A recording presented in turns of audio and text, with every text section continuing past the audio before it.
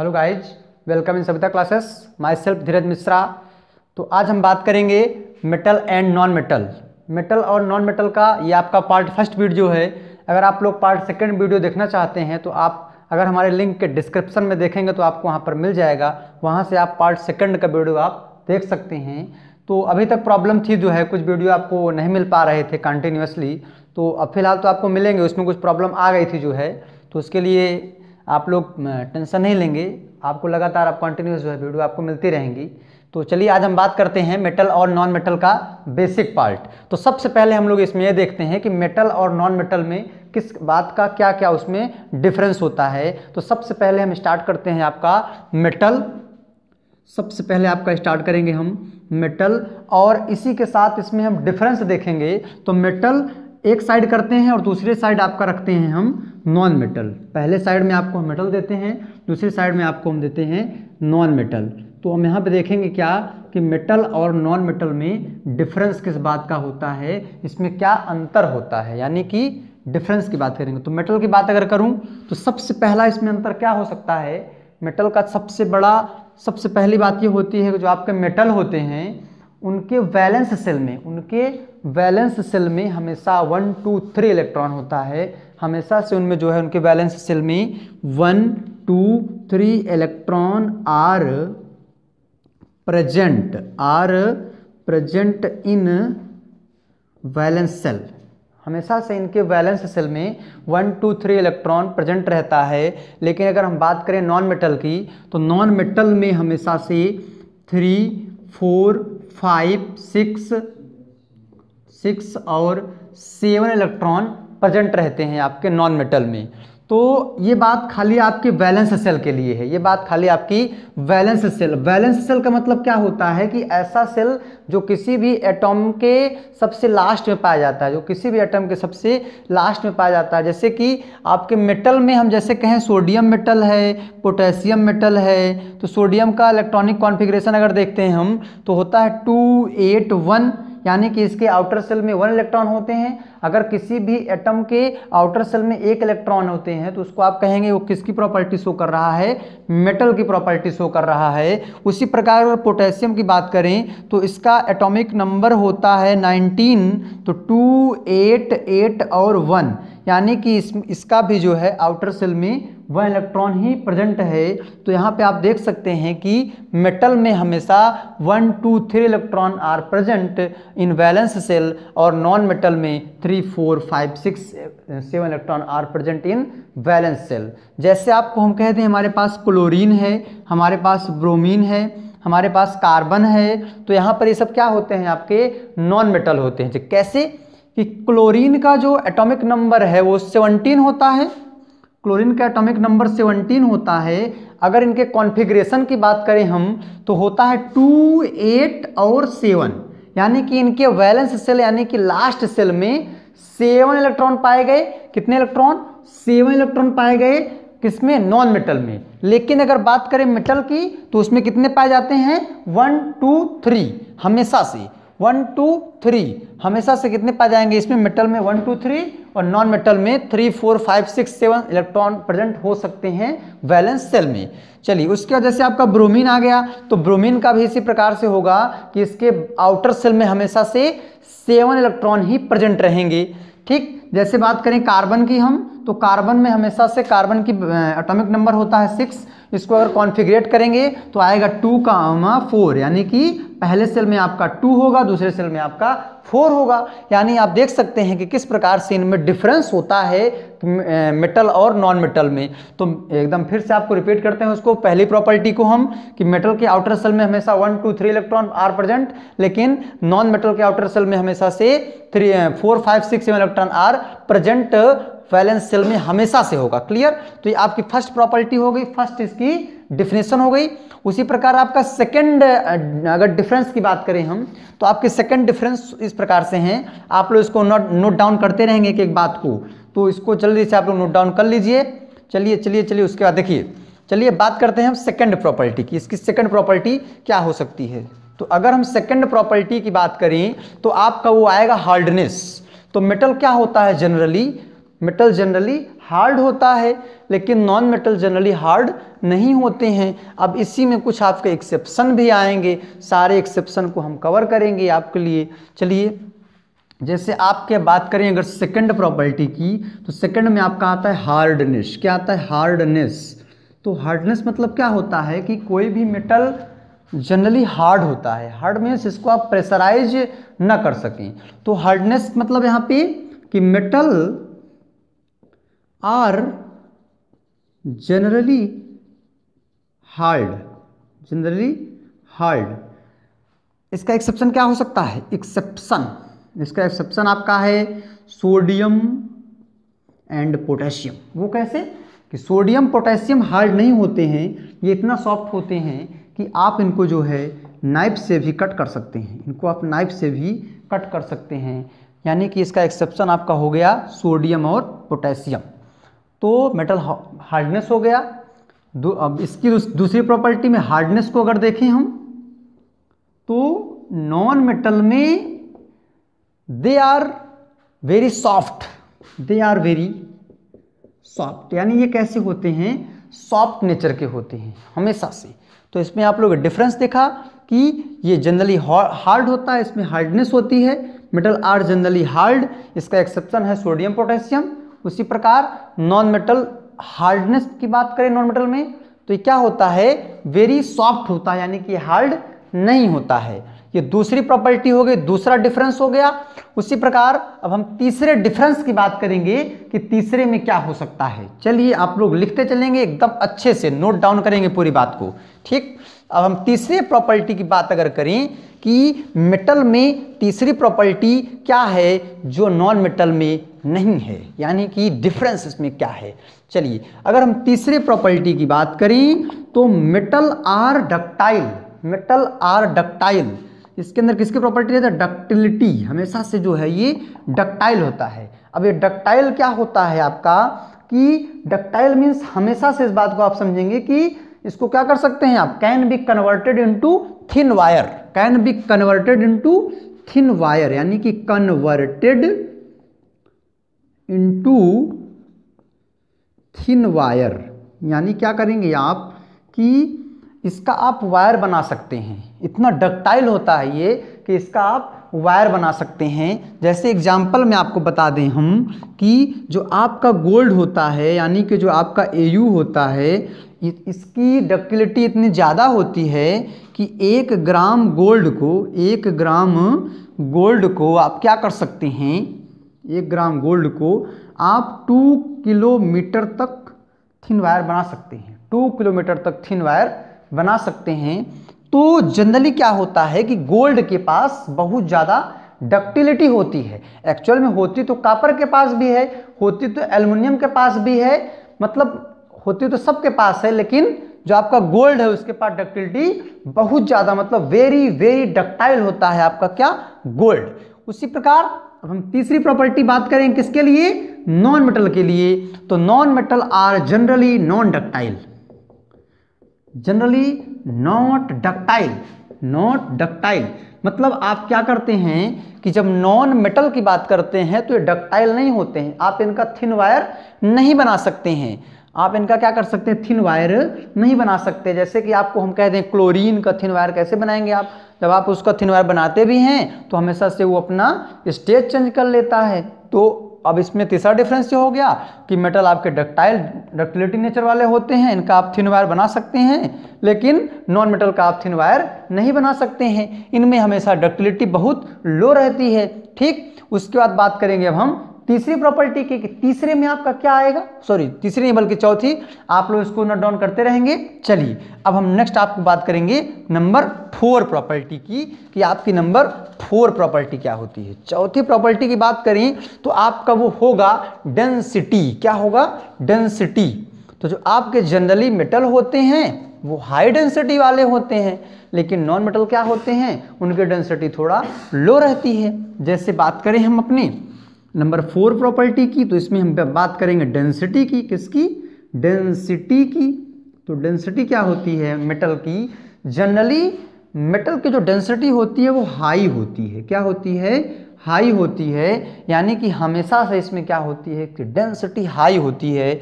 जैसे density high होने का मतलब क्या हुआ कि इसका वेट थोड़ा ज़्यादा होगा। इसका वेट थोड़ा ज़्यादा होगा। हर मामले में सबसे आगे होगा।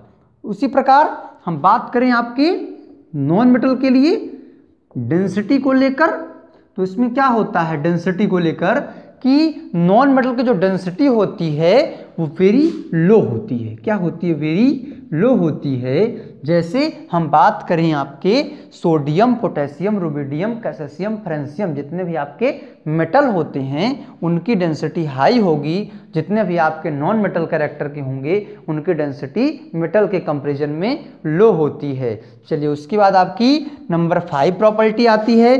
फाइव प्रॉपर्टी में देखेंगे हम मैलिएबिलिटी को देखेंगे। मैल कौन कितना? मैलिएबल है। तो मैलिएबल मीन्स होता क्या है? कि मेलेबल मीन्स ये हुआ कि आप मेटल को क्या कर सकते हैं? उसको पीट करके जो है, एक सीट बना सकते हैं। उसको पीट करके आप एक सीट बना सकते हैं। मतलब कि कैन बी बीटन या तो कह सकते हैं कि आप मेटल को पीटेंगे, या तो उन पर कुछ वर्क करेंगे तो हमेशा से अपना सेप चेंज करके आप उनसे कुछ भी बना सकते हैं। जैसे आपका टिन होता है, आप लोग देखते हैं कि जब टिन का जो शेड होता है वो जनरली मेटल का ही तो होता है। तो एक्चुअल में वो जो टिन बनाया गया है, उसको आप मेलेबल किए हैं, उसके अंदर मेलेबिलिटी की प्रॉपर्टी शो होती है। इसीलिए आप क्या करते हैं उसको, एक थिन सीट के रूप में आप उसको बना देते हैं। क्लियर हमेशा से आप उसको एक सीट में बना लेंगे। जैसे कि मेटल के पास हमेशा जनरली क्या होती है मेलेबिलिटी होती है। इसके कुछ एक्सेप्शन होते हैं। अब मेलेबल किसके पास है? मेटल के पास है। मेलेबिलिटी किसके पास है? मेटल के पास है। यानी जैसे आपका हो गया एल्युमिनियम एल्युमिनियम की आप थिन सीट बना सकते हैं। आप लोग देखते हैं कि एल्युमिनियम का टिन सेट बनता है। वो क्यों होता है? क्योंकि आप उसको पीट करके जो है उसको आप अलग सेप दे देते हैं। इसका कुछ एक्सेप्शन भी आप लोग लिख लीजिएगा। एक्सेप्शन आपके लिए बहुत ज़्यादा ज़रूरी है। क्योंकि एग्ज़ाम में हमेशा यही आता है कि इसका एक्सेप्शन क्या है? क्या ये मेलेबल हैं कि नहीं है? जैसे आपका सोडियम हो गया, आपका पोटेशियम हो गया, मैग्नीशियम हो गया, जिंक हो गया, ये सब क्या होते हैं? जब आप इनकी थिन सीट बनाएँगे तो ये सब ब्रेक कर जाएँगे मतलब बीट कर जाएँगे, टूट जाएँगे। और अगर टूट जाएँगे तो आप इनकी सीट नहीं बना पाएँगे। तो क्या होते हैं ये सब? मेलेबल नहीं शो करते हैं, क्लियर? तो मेलेबल है क्या मैक्सिमम केस में? आपका एल्युमिनियम होता है। उसी प्रकार अगर हम बात करें आपके नॉन मेटल की तो non metal are non non malleable non malleable यानी जनरली क्या होता है? इनके जो करेक्टर होते हैं, वो नॉन मेलिएबल करेक्टर के होते हैं। तो आपके पास भी प्रॉपर्टी हो गई। नेक्स्ट प्रॉपर्टी की अगर बात करें हम तो इसमें हमेशा से कुछ ना कुछ डिफरेंस आता है। चलिए, उसके बाद बात करेंगे हम नॉन मेलेबिलिटी के बाद। चलिए रफ करें इसको। आगे देखेंगे हम। मेटल के बाद नॉन मेटल की बात आ गई। डिफरेंस की बात आ गई। मेटल और नॉन मेटल में क्या डिफरेंस पाया गया? चलिए चलिए इट्स ओके आप लोग देख सकते हैं किस प्रकार से इसमें क्या हो रहा है। मेलेबिलिटी की बात नॉन मेलेबिलिटी की बात आई, आप इसको ऐसे बनाए रहेंगे, बिल्कुल डिफरेंस की बात करेंगे हम। एग्ज़ाम में आपको यही आएगा कि मेटल और नॉन मेटल में क्या डिफरेंस पाया जाता है। चलिए चलिए देखते हैं कितनी प्रॉपर्टी हुई। पाँच। अब नेक्स्ट बात करेंगे हम। नंबर अपने सिक्स प्रॉपर्टी की। कि इसमें आपकी सिक्स नंबर की प्रॉपर्टी क्या है? आपकी सिक्स प्रॉपर्टी है ब्राइटनेस की। ब्राइटनेस मतलब क्या होता है? ब्राइटलनेस ब्रिटलनेस ब्रिटलनेस तो ब्रिटलनेस की प्रॉपर्टी मतलब कि इसको आप बिटन कर सकते हैं। जब आप कुछ भी करेंगे तो जनरली क्या हो जाते हैं ये ऑन अप्लाई फोर्स अगर आप इस पर जो है ऑन अप्लाई फोर्स अगर आप इस पर फोर्स अप्लाई करते हैं तो ये जनरली क्या कर जाते हैं? ब्रेक कर जाते हैं। हमेशा से ये, हमेशा क्या करेंगे? ब्रेक यानी कि टूट जाते हैं। लेकिन अगर नॉन मेटल्स की बात हम करें तो इस पर अगर आप फोर्स अप्लाई करेंगे तो ब्रेक ना करके बल्कि कुछ ना कुछ बना लेते हैं।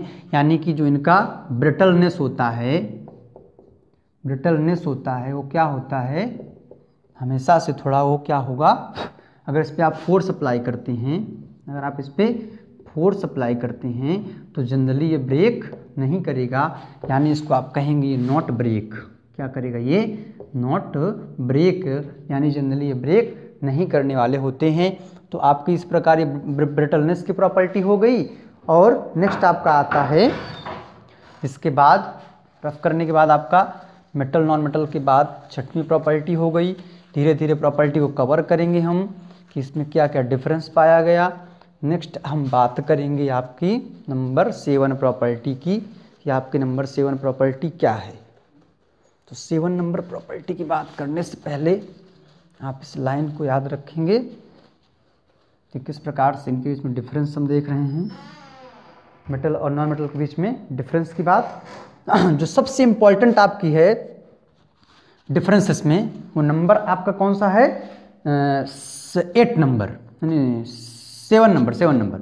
Seven number में आपका क्या है? Good conductor of heat and electricity heat और इलेक्ट्रिसिटी का क्या होता है ये? गुड कंडक्टर होता है। यानी अगर बात करें हम कंडक्टिविटी की जो है तो कंडक्टिविटी में जनरली ये क्या होते हैं? Good conductor of heat and electricity good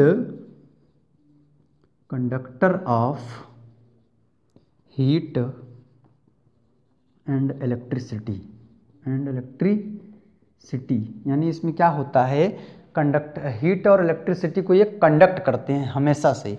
जैसे आपके हो गए एल्युमिनियम हो गया आपका, कापर हो गया आपका आपका सिल्वर हो गया आपका, गोल्ड हो गया आपका, ये सब क्या होते हैं, गुड कंडक्टर होते हैं हीट और इलेक्ट्रिसिटी का। मतलब जब भी आप इसमें करंट का फ्लो कराएँगे तो अच्छे से एकदम फ्लो कर जाएगा एक प्लेस से दूसरे प्लेस पर।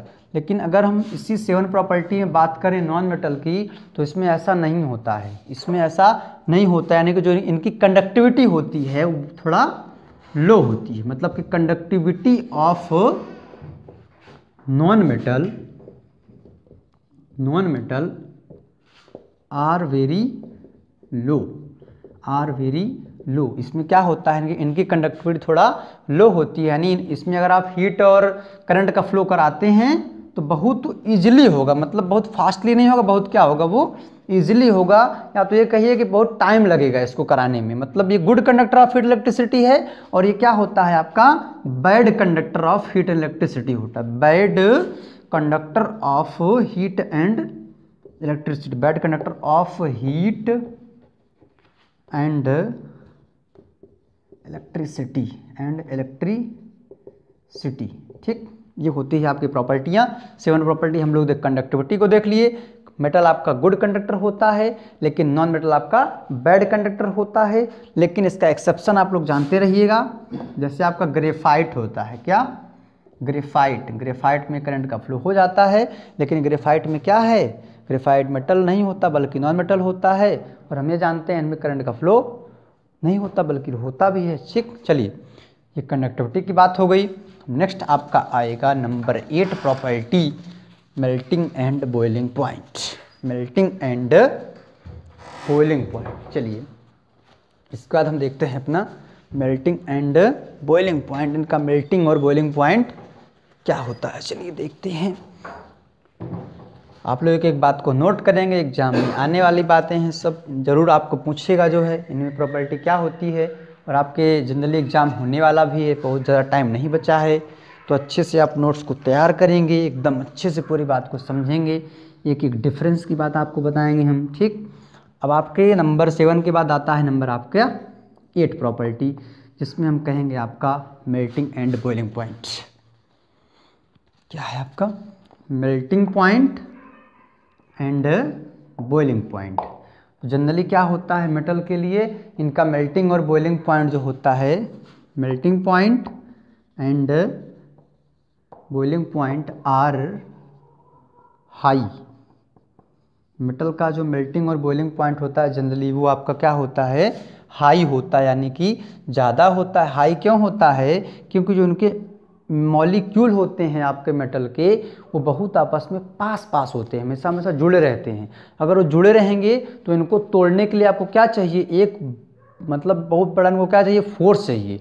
आपको बात बता दें कि जो मेटल होता है मेटल और मेटल मिलेंगे तो कौन सा बॉन्ड बनाएँगे? मेटालिक बॉन्ड बनाएँगे। मतलब बहुत वो क्या होगा? स्ट्रॉन्ग बॉन्ड होगा। क्या होगा? बहुत ज़्यादा वो स्ट्रॉन्ग बॉन्ड होगा। लेकिन अगर नॉन मेटल क्या करेंगे? नॉन मेटल नॉन मेटल के साथ ही बॉन्ड बनाएगा तो हमेशा से कौन सा बॉन्ड होगा? यानी वीक होगा। जैसे हम कहते हैं वांडर वाल फोर्स तो जब वांडरवाल फोर्स की बात आएगी तो वहाँ पे बहुत क्या होगा, वो वीक फोर्स बनेगा उस पर हमेशा हमेशा उस पर क्या होगा, एक वीक फोर्स लगेगा। चलिए तो आपके मेल्टिंग बॉइलिंग पॉइंट क्या हो गई? थोड़ा ज़्यादा हो गई किसके लिए? मेटल के लिए। लेकिन अगर हम बात करें अपने नॉन मेटल में तो इसकी क्या होती है? Melting point and boiling point are are very low क्या होती है बहुत वो? कम होती है यानी लो होती है। जैसे इसका एक्सेप्शन हम पहले देख लेते हैं इसका एक्सेप्शन क्या क्या हो सकता है। तो इसके एक्सेप्शन में आपके आते हैं जैसे आपका मेल्टिंग बॉइलिंग पॉइंट में हो गया हम्म, जैसे आपको कह दें मरकरी। तो मरकरी होती है उसका मेल्टिंग बॉइलिंग पॉइंट थोड़ा कम होता है लेकिन इसमें बता रहा है ज़्यादा है मरकरी भी आपकी मेटल नहीं होती नॉन मेटल होती है ठीक? ये तो आपकी नंबर एट प्रॉपर्टी हो गई ठीक? इसमें कुछ आपको एक एक्सेप्शन बताते हैं कि क्या इसमें एक्सेप्शन हो सकता है। तो बच्चों जो इसका एक्सेप्शन आपका मेल्टिंग बॉइलिंग पॉइंट का है वो आपका होता है हम्म, जैसे सिलिकन हो गया। क्या हो गया? सिलिकन हो गया सल्फ़र हो गए ये सब क्या होते हैं इनकी? मेल्टिंग बॉइलिंग पॉइंट थोड़ा ज़्यादा होती है, हमेशा से जैसे आपके कार्बन हो गए तो सब क्या होते हैं, इनकी मेल्टिंग बॉइलिंग पॉइंट ज़्यादा होती है, लेकिन आपके नॉन मेटल होते हैं क्लियर तो ये आपके एक्सेप्शन हो गए, इनकी डिफरेंस हो गई, चलिए ठीक। नेक्स्ट आपसे हम बात करेंगे इनके डिफरेंस के लेकर के नंबर एट के बाद नंबर नाइन नंबर पे आपका क्या आता है, उस उस बात को हम यहाँ पर देखेंगे कि नौवें नंबर पे क्या है वो, ठीक? नंबर नाइन पे क्या है, देखते हैं उसको। कवर करेंगे, एक एक बात को, एक एक बात को समझना है हमको, ठीक? जो आपके नंबर नाइन नंबर है, वो क्या होता है? आपका जैसे लस्टर, क्या होता है? लस्टर, इसमें भी देखेंगे हम, नंबर नाइन नंबर में लस्टर को। लस्टर मतलब क्या? लस्टर मतलब एक प्रकार का कहेंगे चमक ब्राइटनेस शाइनिंग ठीक? जैसे तारा चमकता है, जैसे आपका स्टार चमकता है, उसी तरह से। मेटल क्या कहेगा? जनरली या लस्टर? आर लस्टर मतलब साइन मतलब साइन यानी कि चमकने वाली बात, ठीक। लेकिन जो आपके नॉन मेटल होते हैं, are not cluster not cluster, ठीक। एक एक्सेप्शन की बात करेंगे कि इसमें क्या क्या एक्सेप्शन हो सकते हैं, किस प्रकार से इसमें लस्टर है, किस प्रकार से इसमें लस्टर नहीं है। तो अगर लस्टर लस्टर की बात आएगी, लस्टर मतलब क्या हुआ? चमक होती है जैसे आपको हम कहें इसके एक्सेप्शन में तो इसका एक्सेप्शन क्या क्या हो सकता है? जैसे आपका आयोडीन है, जैसे आपका आयोडीन के अलावा जैसे क्या हो सकता है? आपका ग्रेफाइट है। क्या है? ग्रेफाइट है डायमंड है सब क्या होते हैं? जनरली इनमें चमक तो होती है, लेकिन क्या होते हैं? ये मेटल नहीं होते, बल्कि ये नॉन मेटल होते हैं। ठीक? उसी प्रकार समझेंगे हम अपने मेटल को तो इनमें क्या होती है? लस्टर की प्रॉपर्टी पाई जाती है। यानी ये हमेशा से क्या होते हैं? चमकते हैं। बहुत से, बहुत पहले जब साइंटिस्ट लोग थे, वो यही रिसर्च करके पता किया उन्होंने मेटल और नॉन मेटल में डिफरेंस यही पता लगाया कि जो चीज़ चमकेगी, वो हमारी मेटल होगी और जो नहीं चमकेगी, वो हमारी क्या होगी? नॉन मेटल होगी। ठीक? जैसे आपका हो गया सोडियम पोटेशियम ये सब क्या होते हैं? लस्टराइजेशन वाले होते हैं। ठीक? चलिए, इसके बाद आता है आपका नंबर नाइन के बाद आएगा आपका नंबर टेन। नंबर टेन इसका देखेंगे, नंबर टेन इसका भी देखेंगे। तो नंबर टेन प्रॉपर्टी आपकी होती है लस्टर के बाद आपका आता है मेल्टिंग बॉइलिंग पॉइंट होगा। सोनरस की बात कर लें थोड़ा सा हम। आएगा सोनोरस सोनरस इसमें भी देखेंगे और सोनरस की प्रॉपर्टी हम इसमें भी देखेंगे, ठीक? तो जो आपके मेटल होते हैं, जनरली क्या होता है उनमें? सोनरस प्रॉपर्टी पाई जाती है। क्या होता है जनरली इसमें? सोनरस प्रॉपर्टी पाई जाती सोनरस मतलब एक तरह समझिए कि साउंड की बात कर रहा हूँ मैं। किसकी बात कर रहा हूँ? साउंड की। साउंड मतलब क्या होता है कि जब मेटल और मेटल आपस में क्या करते हैं, कोलाइज करते हैं तो टकराते हैं तो हमेशा से क्या होता है उनमें? हमेशा से क्या होगा उनमें से? एक प्रकार की साउंड, यानी कि आवाज़ क्रिएट होगी। ठीक? लेकिन अगर नॉन मेटल की बात करूँगा मैं तो are not be sonorous not be sonorous. मतलब इनके अंदर सोनरस की प्रॉपर्टी थोड़ा लूज पाई जाती है, थोड़ा वो कम पाई जाती है। यानी इनको आप अगर टकरा कुलाइज कराते हैं, टकराते हैं तो इनमें से क्या होगी? थोड़ा सा कम आवाज़ आती है, यानी कि बहुत मतलब स्लो आवाज़ आती है। ठीक, लेकिन अगर जैसे आपका हो गया कॉलेज की बेल जो होती है, हमेशा से उनकी साउंड जो होती है, वो तेज़ होती है। क्यों तेज़ होती है? क्योंकि यहाँ पे सोनरस प्रॉपर्टी की बात कर रहे हैं हम। सोनरस मतलब जिसमें साउंड क्रिएट करेगा, ठीक? चलिए तो आपकी ये क्या हो गई? मेटल और नॉन मेटल की प्रॉपर्टीज़ हो गई, इनमें डिफरेंस हो गया। ठीक, आपका ये पार्ट फ़र्स्ट वीडियो था, आपका सेकंड वीडियो बना हुआ है, जिसमें आपको हमने बताया है कि metal how to metal react with water ठीक, अब इसमें कुछ आपकी केमिकल प्रॉपर्टीज़ भी हैं, जिसको हम कवर कर देते हैं आपके लिए। चलिए, इसको आप रफ करें, आप लोग इसको नोट डाउन कर लीजिए, ठीक। चलिए, अब मैं आपको इसमें थोड़ा सा ये बात कवर कराऊँगा कि मेटल की जो है केमिकल प्रॉपर्टी क्या होती है? मेटल की जो है वो केमिकल प्रॉपर्टी क्या होती है? ये तो आपकी सारी की सारी कौन सी प्रॉपर्टी हो गई? फ़िज़िकल प्रॉपर्टी सब सारी प्रॉपर्टी आपकी फ़िज़िकल प्रॉपर्टी थी। अब मैं आपको कवर कराऊँगा इसकी केमिकल प्रॉपर्टी तो जनरली जो मेटल होता है, उसकी केमिकल प्रॉपर्टी देखने से पहले, उसकी केमिकल प्रॉपर्टीज़ देखने से पहले हमें जानना पड़ेगा कि एसिडिक क्या होता है और बेसिक क्या होता है। एसिडिक क्या होता है और बेसिक क्या होता है, ठीक? तो मैं बात करूँगा इसकी केमिकल प्रॉपर्टीज़ की। किसकी बात करूँगा? केमिकल प्रॉपर्टीज़ की। जो इसकी केमिकल प्रॉपर्टीज़ है तो सबसे पहले हम बात करेंगे इसमें मेटल की, ठीक? तो जो मेटल हमारा होता है, जब वो किसी ऑक्सीजन से रिएक्शन करता है, जैसे आपका सोडियम है, अगर ये रिएक्ट रिएक्ट करेगा ऑक्सीजन से तो क्या बनाएगा जनरली ये?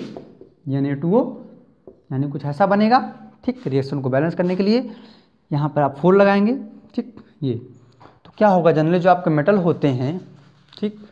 जो आपके मेटल होते हैं, जैसे सोडियम हो गया तो क्या बना लिया? यानी टू अब यानी टू क्या है? सोडियम ऑक्साइड है, हमेशा से क्या है? ऑक्साइड है। तो जो आपके ये होते हैं मेटल होते हैं, ये जो है अब नेचर में कैसे पाए जाते हैं? एसिडिक नेचर के होते हैं। किस नेचर के होते हैं? एसिडिक नहीं, बल्कि बेसिक नेचर के होते हैं। क्या होते हैं ये? बेसिक नेचर के होते हैं, लेकिन जो आपके नॉन मेटल हैं नॉन मेटल जैसे मैं बात करूँ कार्बन की तो जो आपका कार्बन अगर ऑक्सीजन से मिलता है तो बनाता है CO2 यानी कार्बन डाइऑक्साइड जो आपका कार्बन डाइऑक्साइड है, वो क्या है? एसिडिक नेचर का है। क्या होता है? एसिडिक नेचर के होते हैं। तो सबसे बड़ी प्रॉपर्टी इसमें यही है केमिकल में कि जो आपके मेटल होते हैं वो जनरली जो उनका ऑक्साइड बनता है, वो बेसिक नेचर का होता है, लेकिन जो आपके नॉन मेटल होते हैं, जो उनका ऑक्साइड बनेगा, वो हमेशा एसिडिक नेचर का होता है। क्लियर तो आपके यहाँ पे सारे कंसेप्ट क्लियर हो जाने चाहिए। आपका पार्ट फ़र्स्ट वीडियो क्लियर हो गया सेकेंड भी क्लियर हो गया, यानी आपका नॉन मेटल और मेटल आपका क्लियर हो गया। ठीक? उसके बाद अगर आप लोग इसका पार्ट फ़र्स्ट फ़र्स्ट वीडियो देखना चाहते हैं फ़र्स्ट तो आपको बता दिए सेकंड अगर देखना चाहते हैं तो आप इसके लिंक डिस्क्रिप्शन में देखेंगे तो आपको वहाँ वीडियो मिल जाएँगी। चलिए, अगर आप लोग अभी तक हमारे चैनल पर नए हैं तो आप हमारे चैनल को सब्सक्राइब ज़रूर करिएगा और हमें कमेंट में लिख के ज़रूर बताइएगा कि आपको यहाँ पे कुछ क्वेश्चन है, कुछ प्रॉब्लम आपको आ गई हैं। चलिए, ठीक थैंक यू